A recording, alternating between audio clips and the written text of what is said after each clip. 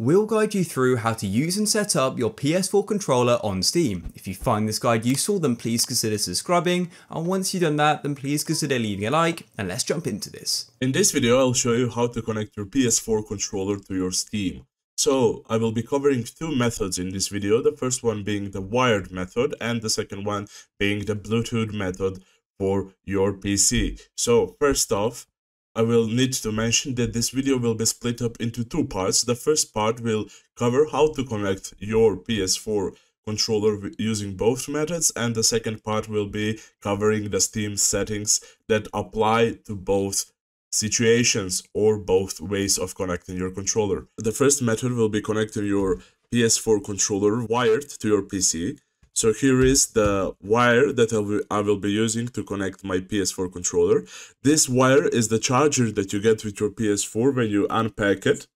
And as you can see, it's an USB to micro USB connection. You can use another wire that you have laying around in your house. You take that and you plug it in at the top of your PS4 controller right here.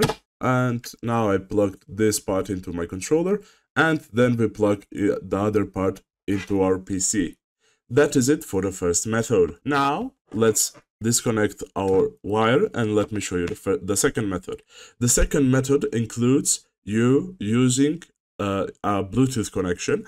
So to avoid any unnecessary problems, you need to first unplug your PS4 from the power outlet. So whenever you press a button on your PS4 controller, it doesn't automatically turn it on.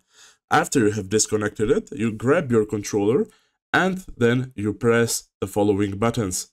You hold down the PS controller and then you hold the share button until you see it start blinking.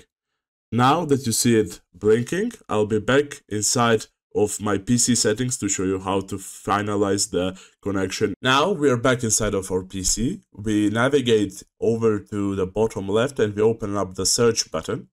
Then in the search button we write settings after we write settings, we select the application and we open it up. And now, as soon as we are into the application, we select the devices section that is second from the top. We open it up and then we make sure that we are in the first section right, right here called Bluetooth and other devices. Then after we are here, we select the add Bluetooth or other device. And after we have selected this, it will show up Uh, as a pop-up and here in the pop-up we select everything else.